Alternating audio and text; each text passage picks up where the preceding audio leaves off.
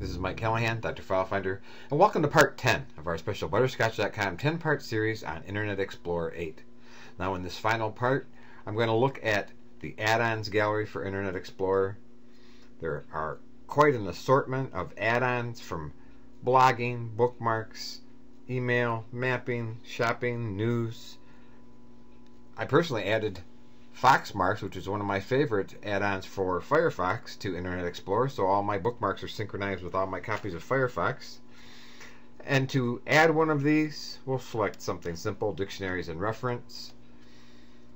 You can just do Wikipedia visual search, click add to Internet Explorer, box comes up, use search suggestions from this provider, I'll click add, and that's all there is to it.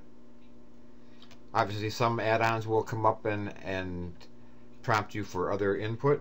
You can click here on Tools, Manage Add-ons, and here you'll be able to see the toolbars and extensions, search providers, accelerators, like I have a Send with Gmail accelerator that I added from the add-on section, and things for in-private filtering. So these are add-ons for Internet Explorer. They give it more power, more functionality, more flexibility. And that concludes part 10.